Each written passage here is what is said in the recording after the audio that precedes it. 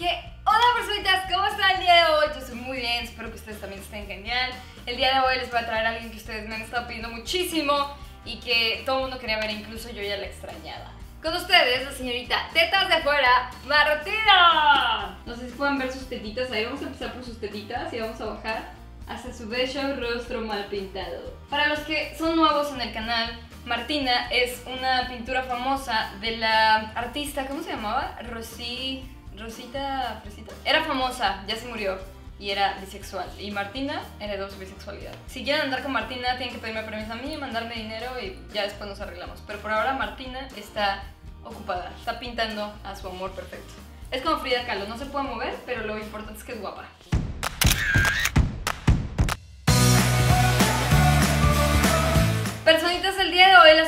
Martina y yo les vamos a dar unos tips de cómo vestirse para Halloween y les voy a dar ideas muy económicas. Esto es algo así como un tutorial, pero un tutorial muy posible de realizar. O sea, un tutorial más pobre, humilde, porque luego hay gente que hace unos tutoriales tan carísimos y uno no los puede seguir. Este ustedes sí lo pueden seguir sin afectar su bolsillo. Vamos a empezar con este tutorial, personitas. Me canso de hablar tanto. Qué barbaridad. Vamos.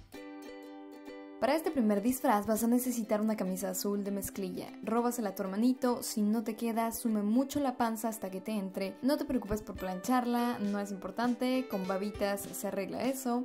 Lo segundo que tienes que hacer es agarrarte todas tus greñas y hacerte como un chonguito y ponerte algunas greñitas hacia enfrente. Lo que sí es muy importante es que necesitas una guitarra. Si no tienes una, róbasela al coro de la iglesia bueno, la prestada porque luego te vas al infierno. Y lo más importante, necesitas unos chones. No importa qué color sean, mientras escondan tu feo cabello debajo.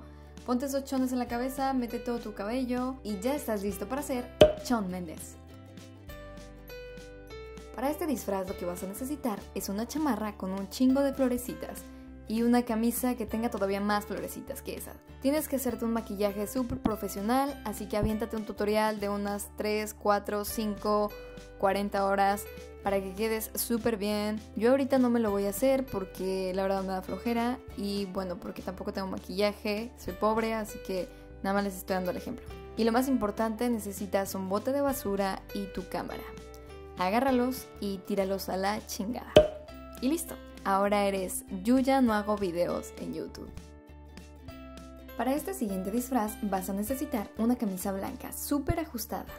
Desabróchatela un poco para que enseñes tus músculos de puberto. Haz lo mismo con las mangas. Para agregarle un poco de estilo, usa una gorra negra y unos lentes de sol. No importa que la fiesta sea de noche.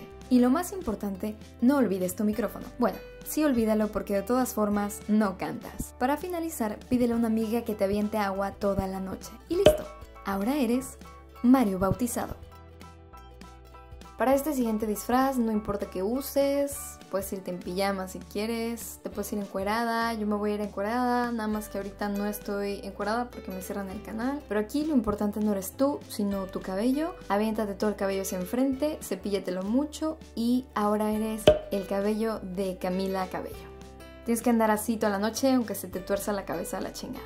En este lo importante es que te veas medio niño, medio niña, te pones una chamarra de la secundaria, si tienes una del uniforme, mejor, te pones de perfil y listo. Ahora eres cara de ladín. Si tus amigos te hablan, tienes que voltear a verlos de ladín toda la noche para que tu disfraz esté bien hecho.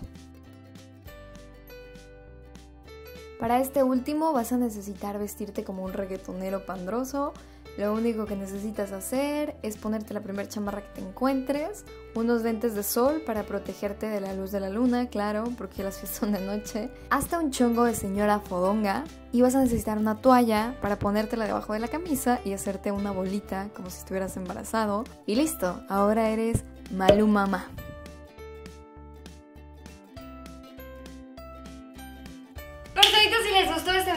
compártanlo, denle like y de parte de la señorita Martina dice que sobre todo lo compartan porque quiere que pues lleguemos a crecer más rápido. Si ustedes no lo comparten, no lo va ni mi madre y es muy difícil. Y si hacen alguno de estos disfraces para Halloween, me gustaría que ustedes me mandaran la foto de cuál hicieron porque yo sé que van a ser algunos, son muy fáciles y económicos y como vieron pues Aparte están padrísimos, va a ser la última moda. Estoy segura que más de 500 se van a vestir con esos outfits. Ya me voy, espero que no festejen el Día de Brujas porque eso es del diablo. Mejor vayan a misa, personitas, festejen el Día de Muertos porque eso es menos sádico. La gente muerta, o sea, tú le pones comida en sus lápidas y ellos se las comen. Eso no tiene nada de malo, que los muertos coman, pero que nosotros adoremos brujas, eso, es del diablo, del diablo de verdad. Yo voy a ir misa, voy a a misa desde ahorita. Adiós, yo voy a misa, los amo.